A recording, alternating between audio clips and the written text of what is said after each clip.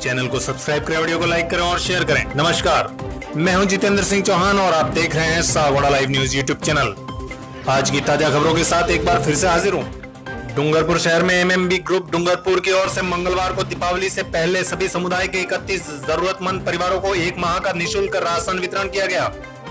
कार्यक्रम के मुख्य अतिथि जिला कलेक्टर सुरेश कुमार, ओला पूर्व राज्य मंत्री असरार अहमद प्रभुलाल पटेल, जगदीश हाजी, अख्तर हुसैन मलिक एवं विक्रांत चौबीसा थे सर्वप्रथम जिला कलेक्टर ओला का स्वागत एमएमबी ग्रुप डूंगरपुर के सदर नूर मोहम्मद मकानी ने किया। व ग्रुप के सभी कार्यों से अवगत करवाया।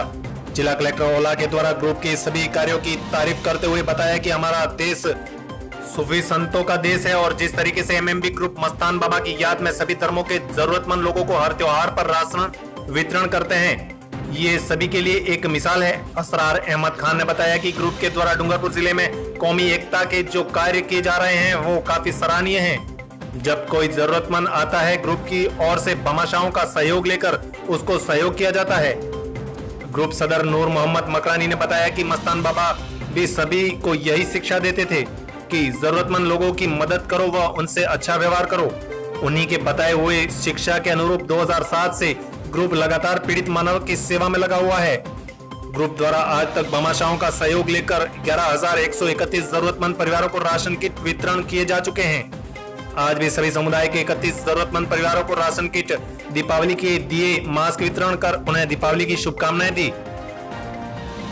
ग्रुप की ओर से बमाशाह यूनुस खान जयेश मकात तन्मय भट्ट मनीष थदानी राजेश असलम शेर खान दक्ष शाह मणिलाल कलाल प्रभुलाल पटेल, अशोक भट्ट, परेश खुशलानी, इफ्तिखार, इरफान मकरानी, वसीम मकरानी का आभार व्यक्त किया। इस मौके पर संदीप सेठिया, असलम मुल्तानी, साबिर मकरानी, इकराम मोहम्मद, मकरानी शहजाद मकरानी देवेंद्र सुथार, मनोज जैन आदि काफ़ी संख्या में लोग मौजूद थे। जगदीश ने कार्यक्रम की समाप्ति पर सभी सहयोगियों का आभार व्यक्त किया। देखिए पूरी रिपोर्ट। देखिए, अभी कोरोना काल चल रहा है और ये एक वैश्विक महामारी है। माननीय मुख्यमंत्री जी ने भी समय समय पर निर्देश प्रदान किए हैं कि सभी इसका ध्यान भी रखें और ज़रूरतमंद लोगों को जिस कैपेसिटी में हम मदद कर सकें, उसमें अवश्य करें। इस ग्रुप का काफ़ी सराहना मैंने सुनी भी है और इस ग्रुप के द्वारा जैसा भी बताया गया, लगातार चौदह वर्ष से गरीब व्यक्तियों की एस लोगों की सहायता की जा रही है और इसी कड़ी में आज भी इन्होंने कुछ परिवारों को दीपावली का त्यौहार सामने है। उससे पहले सहायता सामग्री प्रदान की है। मैं सभी को शुभकामनाएँ प्रेषित करूँगा और इनको शुभकामनाएँ भी दूँगा कि ये बहुत ही अच्छा और नेक काम कर रहे हैं और भविष्य में भी इस तरीके से अच्छा काम मिलकर करें और सामाजिक तौर पर जिन भी जरूरतमंदों की मदद कर सकें, वो अवश्य करें। इधर डूंगरपुर ज़िले के पुलिस अधीक्षक कालूराम रावत ने ज़िले में पद ग्रहण करने के बाद पहली बार साबला व आसपुर थाने का निरीक्षण किया एवं सभी बीट प्रभारी से बीट की जानकारी व पुलिस ई मित्र के बारे में जानकारी लेते हुए पंचायती राज चुनाव को लेकर रावत ने कहा कि हमारे ज़िले में जिला परिषद सदस्य व पंचायत समिति सदस्य को लेकर हमने सभी तरह की तैयारियाँ कर ली हैं। आगामी पंचायत समिति व जिला परिषद चुनाव चार चरण में संपन्न होंगे। हर बार जो चुनाव होते हैं, उस अनुरूप पुलिस मुख्यालय के निर्देश अनुसार बाहर से भी लगभग 1500 का जाप्ता पुलिस बल तैनात रहेगा। सभी थानों पर सभी अधिकारियों को अपने अपने क्षेत्र में भ्रमण करने के निर्देश दिए गए हैं। आचार संहिता का पालन करने के लिए सभी को पाबंद किया जाएगा एवं पंचायती राज चुनाव जिला परिषद चुनाव को लेकर शांतिपूर्ण तरीके से संपन्न करवाए जाएँगे। आसपुर से रिपोर्टर प्रवीण कुमार कोठारी की रिपोर्ट।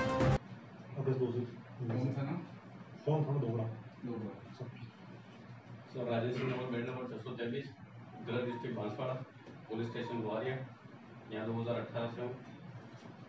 भर्ती ज़िले की? सर बत्तीस कौन सा वर्ष? दो हज़ार आठ sir bat number seven nine six गृह जिला डूंगरपुर थाना बिच्छीवाड़ा भर्ती दो हज़ार अट्ठाईस आठ दो हज़ार पंद्रह नमस्ते पेज नंबर आठ सौ छः पुलिस थाना दो हज़ार पंद्रह दो हज़ार सत्रह से नंबर तीन सौ उनचालीस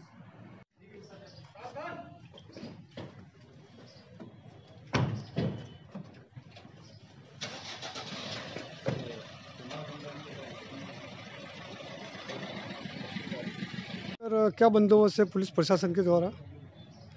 आगामी जिला परिषद और पंचायत समिति सदस्यों के चुनाव होने हैं। डूंगरपुर जिलों में चार चरणों में ये चुनाव संपन्न होंगे।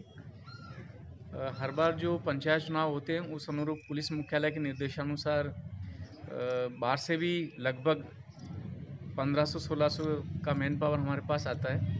और सबका जो डेप्लॉयमेंट निर्वाचन आयोग का जो निर्देश है, उस अनुरूप किया जाएगा। अभी भी सभी थानों पर सभी अधिकारियों को अपने अपने क्षेत्र में भ्रमण करने के लिए निर्देश दिए गए हैं। आचार संहिता की पालना करवाने के निर्देश दिए गए हैं। इस बारे में पूरा विश्वास है कि पंचायत चुनाव भी ज़िले में शांतिपूर्ण संपन्न होंगे। Sagwara live news. जी हाँ लेटेस्ट खबर पाने के लिए चैनल को सब्सक्राइब कीजिए वीडियो को लाइक कीजिए और शेयर कीजिए।